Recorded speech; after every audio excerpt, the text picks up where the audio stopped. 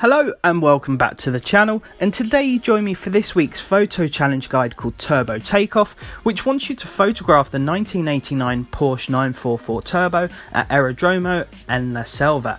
Now Ignore the fact that the photo and the thumbnail is actually showing the stadium in the background. That is the incorrect location. I will show you the correct one in a second. But first of all, let's have a look at the car in question.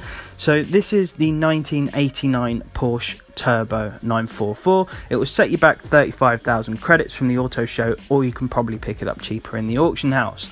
Now, the location of Aerodromo en la Selva is actually the abandoned airfield here at the bottom of the map.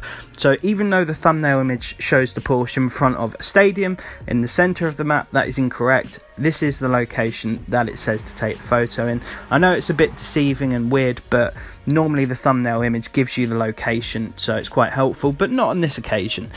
Anyway, when you get to the airfield in your Porsche, you take the photo, and of course, it will pop up with two tick boxes one saying that you're in the correct car and one saying that you are in the correct location. And if both of them get green ticks, then that's the challenge complete, nice and easy. It's as simple as that.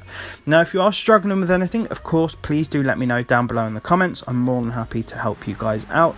Again, it's a bit weird how the thumbnail image for this challenge shows the wrong location, but we'll gloss over that because this is the correct one. This is the Aerodromo en the Selva. Um, so, like I said, hopefully this helped you out. Now, if it did, I'd very much appreciate if you could drop a like and if you're new to the channel, subscribing massively helps me out as well.